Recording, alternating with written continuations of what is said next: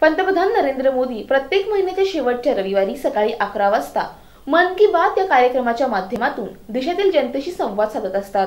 या महिन्यातील मन की बातच्या सदतीसव्या भागात पंतप्रधानांनी छठ पर्वानिमित्त सर्वांना शुभेच्छा दिल्यात. तसेच त्यांनी खादी फॉर ट्रान्सफॉर्मेशन हा नवा नारा दिला. जवानांबरोबर दिवाळी साजरी करणे हा एक अविस्मरणीय अनुभव असल्याचे ते म्हणाले जिल्हाध्यक्ष आमदार प्रशांत ठाकूर यांच्या निवासस्थानी पंतप्रधानांच्या मन की बात या कार्यक्रमाचे मोठ्या पडद्यावर प्रक्षेपण करण्यात आले. यावेळी भाजपचे जिल्हाध्यक्ष आमदार प्रशांत ठाकूर माजी आमदार देवेंद्र साटम यांच्यासह पक्षाचे पदाधिकारी कार्यकर्ते आणि नागरिक मोठ्या संख्येने उपस्थित होते. मन की बातच्या माध्यमातून पंतप्रधान नरेंद्र मोदी देशातील नागरिकांशी थेट संवाद साधत असतात. त्यांचा हा उपक्रम आदर्शवत असल्याच्या प्रतिक्रिया व्यक्त होत आहेत.